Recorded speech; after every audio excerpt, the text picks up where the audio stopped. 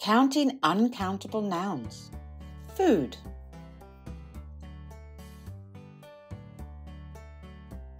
An uncountable noun is a noun we cannot count. For example, milk. We can't say one milk. But we can count it if we count the container or unit. A glass of milk. Two glasses of milk. But the container or unit changes depending on the food. Here are some examples. A carton of milk.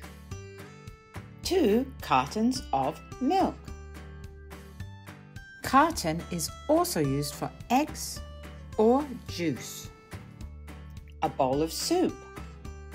Two bowls of soup. A jar of jam. Three jars of jam. A loaf of bread. Two loaves of bread. A slice of bread. Two slices of bread. A cup of coffee. Two cups of coffee. A bottle of wine. Two bottles of wine a bar of chocolate, two bars of chocolate. Bar is also used for soap. A piece of chocolate, two pieces of chocolate. Piece is also used for cheese, cake, paper.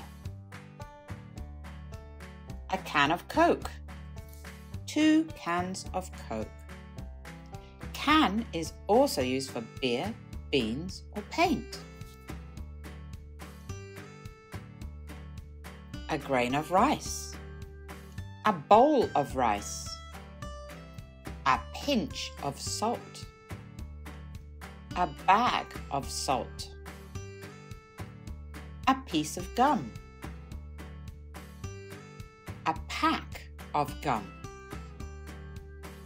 A stick of butter, a block of butter, a tub of margarine, a bag of flour. Bag is also used for sugar, potato chips, rice. A packet of biscuits, cookies. Packet is also used for cigarettes or potato chips. A box of cereal. Box is also used for chocolates. A head of broccoli. Two heads of broccoli. Head is also used for cabbage, cauliflower, lettuce. An ear of corn. Two ears of corn. Ear is also used for wheat or barley. With some countable nouns, we count groups of them differently. A banana, a bunch of bananas, two bunches of bananas. Bunch is also used for grapes, carrots, asparagus.